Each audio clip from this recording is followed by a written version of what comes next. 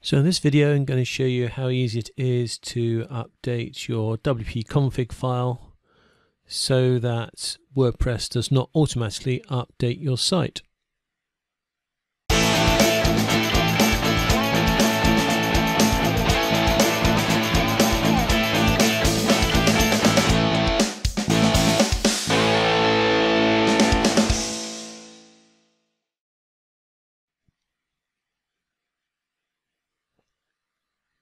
Now before we make this change, let's just remind you that if you stop WordPress from updating the site automatically, you will need to do it manually.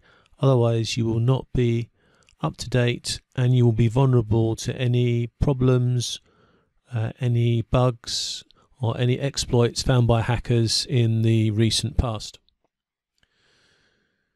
But there are people that want to disable the automatic update so that they can do a backup and they can do an update in their own time um, under their own control and then check the site works properly before going live.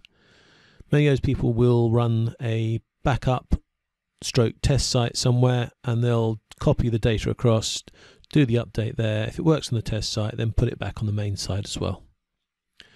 So after all those caveats, the easiest way to make the change is to use your FTP program.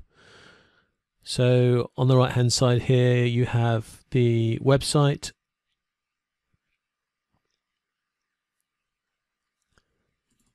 And you see I can access it uh, from the directory here. And then what I need is the WP config file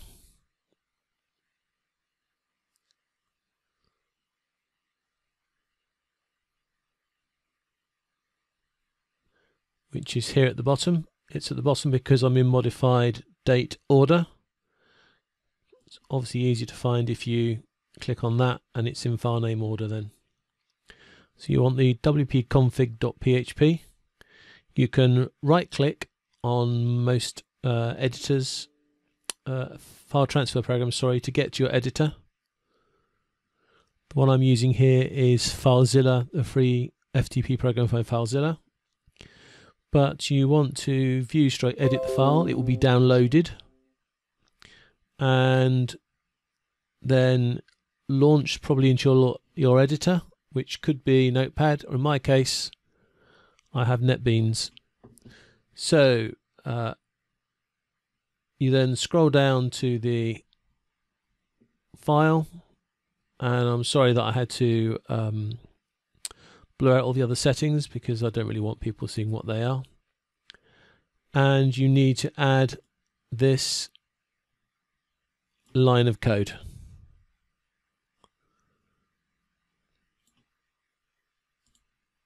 So this is stopping uh, SiteGround from auto-updating my site for me and WordPress. So you just paste that piece of code into your WordPress and then save it so in the case of this program, I well, haven't been seen to change anything, so I'll just put a space in there so I'm seen to have changed something. If I close it, it then says, do you want to save it? I say yes. If I now go back to WSFTP, it realizes the file has changed.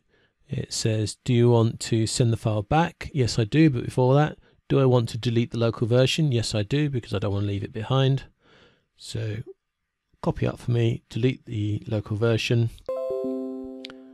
All files have been transferred and that site now will not auto update. So I can now check when um, WordPress updates are available, make sure it works properly with all my plugins and themes, and then run the update myself in my own time.